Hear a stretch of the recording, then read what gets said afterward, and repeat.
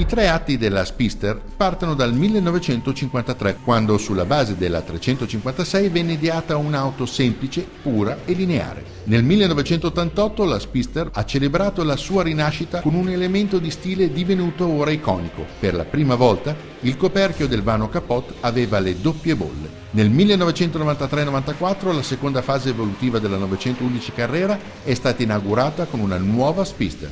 Oggi la nuova Spister testimonia l'esclusività, la ricerca, l'intrigante appeal di questo marchio.